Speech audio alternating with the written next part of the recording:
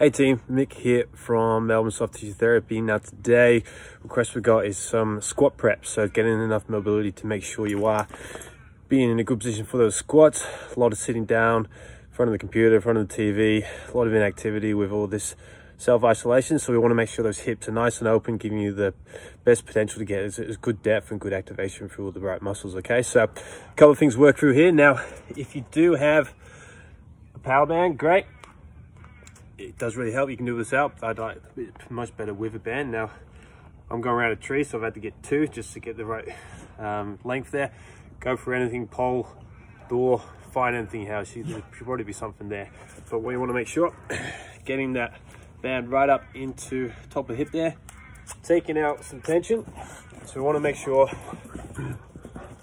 watch out for dogs running around, um, that band is taking your hip out, right to the side of the hip basically what that's going to do is going to take the head of that um, femur there, got the bloody name, pulling out, and we're going to grind away some of that tension that's going for the groin, so for the groin through the hip, sorry. So back and forth, as far as you go, each way, just basically search around for any shitty areas. Let your foot out, drop to the side, and just play with it. Good couple of minutes there. Obviously do both sides. Now if you don't have the band, not to worry, just do the exact same thing you just don't have quite that distraction from the band, but you can still work out those niggles here and there.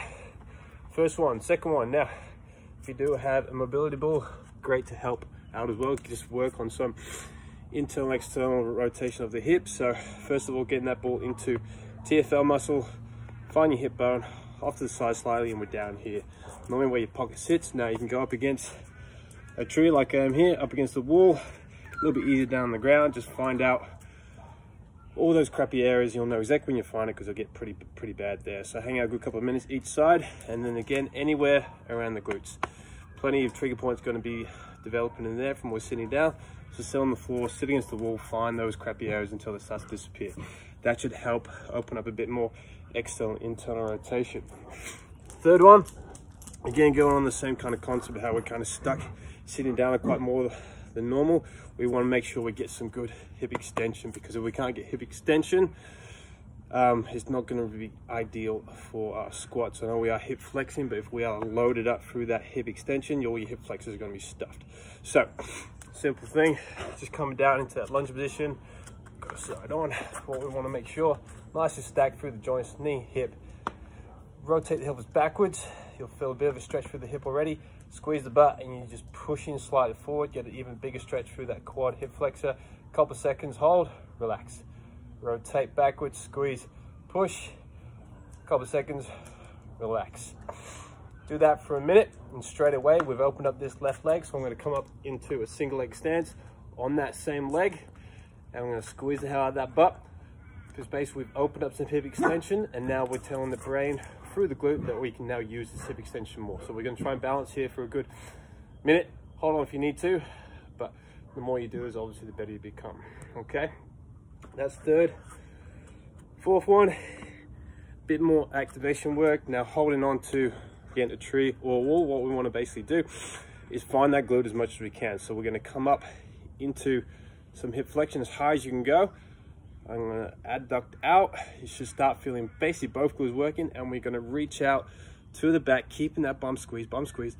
Extend out as far as we can go through and all the way back through. There's one rep.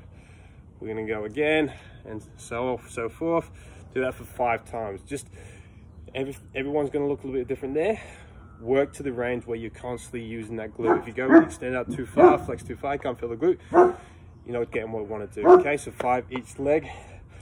Last thing, ankles, feet, calves, hammies, glutes, want to work them together. Just make sure we get nice activation through there for the squatting. Exercise what we call strong feet five. Henry.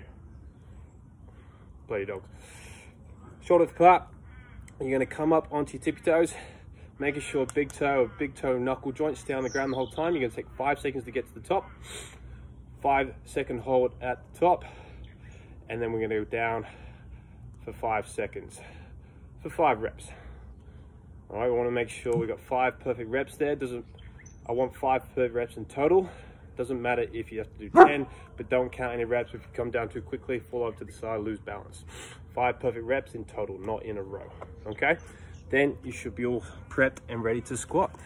Any questions, again, as always, pop me down in the comments. Um, any more requests for videos or stretches, let me know. Otherwise, happy squatting.